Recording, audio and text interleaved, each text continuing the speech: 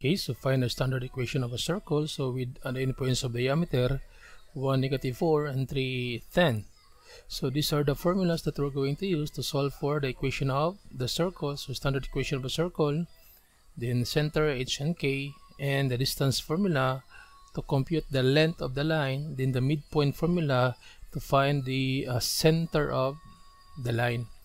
So first we need to compute the uh, center of the circle using this given.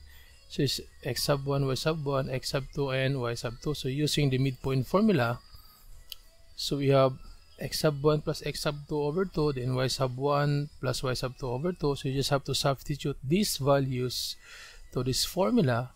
So x sub 1, that's 1, plus x sub 2 plus 3 then uh, y sub 1 negative 4 plus y sub 2 that's 10 then you simplify so 1 plus 3 that's 4 over 2 this one negative 4 plus 10 that's positive 6 then over 2 then you reduce so 4 divided by 2 that's 2 and 6 divided by 2 that's 3 so this is the center of the circle.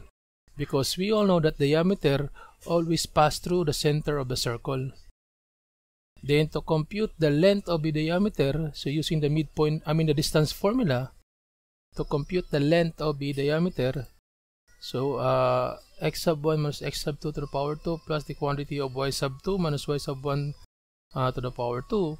Then you substitute these values. So we have x sub 2, that's 3 minus 1 squared, then plus y sub 2, that's 10 minus negative 4, then squared then you simplify 3 minus 1 that's 2 then to the power 2 this one plus uh, double negative that's positive. So 10 plus 4 that's 14 squared. Then you uh, simplify. So 2 squared is 4 and 14 squared is 196 then you add. So 4 plus 196 that's square root of 200 then you reduce this radical. So 200 so rewrite 200 with one number is a perfect number. So that's 100 times 2 because square root of 100 is 10 so square root of 200 is equal to 10 square root of 2 so this is the length of the diameter. Since in our problem we have the radius and radius is half of the diameter. So diameter divided by 2 so our diameter is 10 square root of 2 then divide by 2 so 10 divided by 2 that's 5 so this is now our radius. And again the center is 2 3 so our h is 2 and k is 3 then solve now the equation of the circle using this formula so you just have to substitute these values.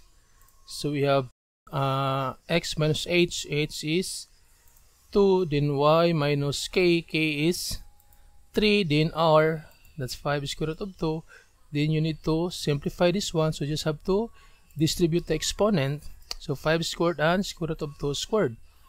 Then 5 squared is 25 then square root of 2 squared is 2 because you just have to cancel this one.